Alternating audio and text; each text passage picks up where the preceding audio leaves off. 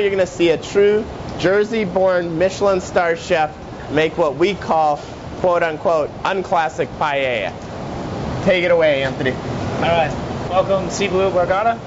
Uh, we're going to do our take on uh, classic paella.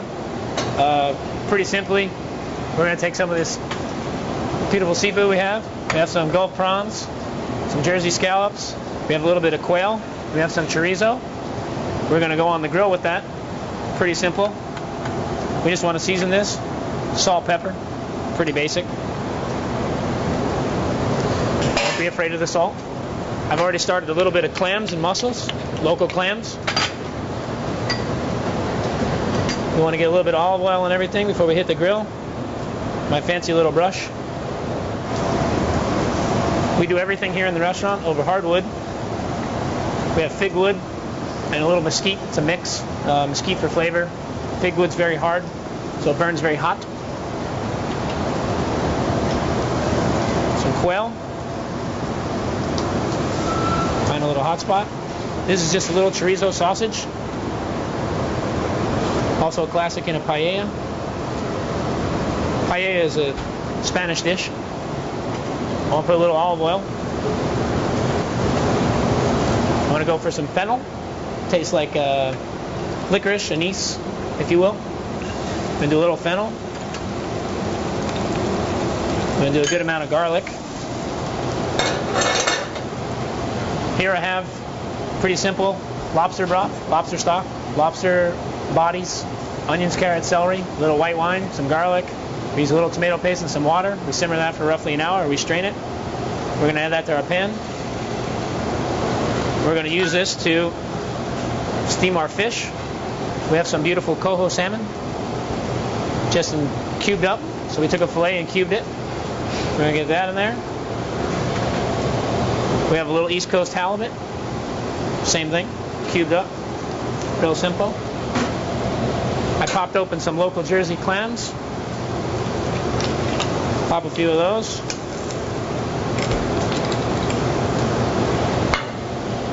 We have some mussels.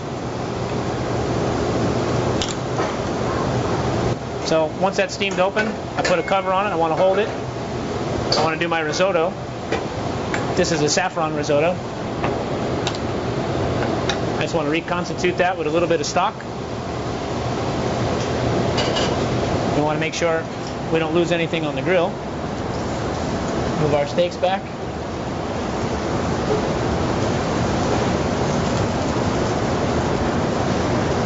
Boom.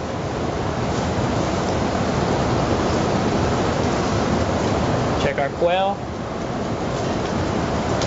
I want to get a little bit of a crispier skin on that. Our chorizo is just about there.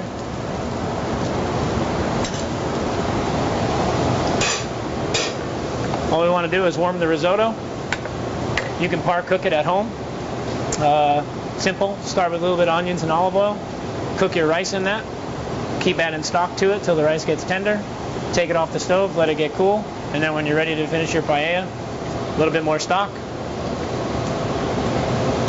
Bring it back up, ready to go. Um, all I need to do pretty much is grab a plate. We have what classically it looks like it's called a tagine. Dishes can be cooked in this completely, sort of like a casserole with a lid. We're going to do our risotto on the bottom. Now, all I want to do to finish my risotto, I have a little bit of grape tomatoes. And I want a few pieces of butter, just for richness. Stir that in. Bring that right to the pan. I want to chop a little bit of herbs real quick. I'm not a big fan of chopping ahead of time. They lose a lot of flavor as they sit. What I have is uh, chervil. Tastes like fennel. And I just have a little bit of fresh flat parsley or Italian parsley. Not really a big fan of the curly. The curly doesn't taste like anything. It just looks nice. And you don't want to murder it. You don't want to chop it up too bad. You just want to get it kind of loose. They just kind of get the oils going in the herbs. Release the perfume. To pop that in our risotto. Then we can go right to the plate. Risotto.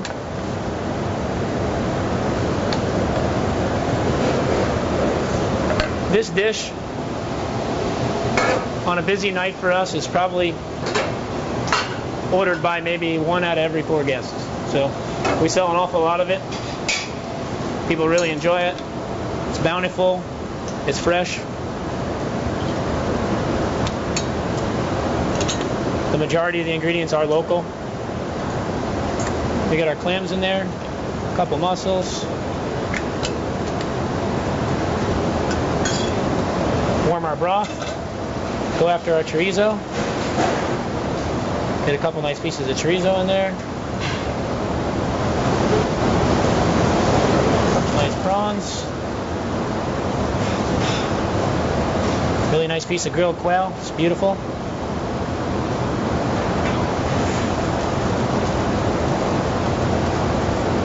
If we can't grab this scallop with my little tweezers. Put a scallop on there. Another beautiful scallop. Right on top. Grab a spoon. Take all that good juice. All this nice poached fish. Just a couple pieces scattered around.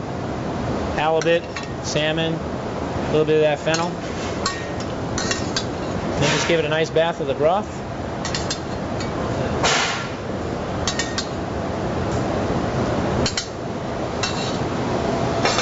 Take some of the same herbs we chopped. Just kind of spread that over. Always like a little lemon on my fish. Give it a little fresh squeeze of lemon. And some nice extra virgin olive oil.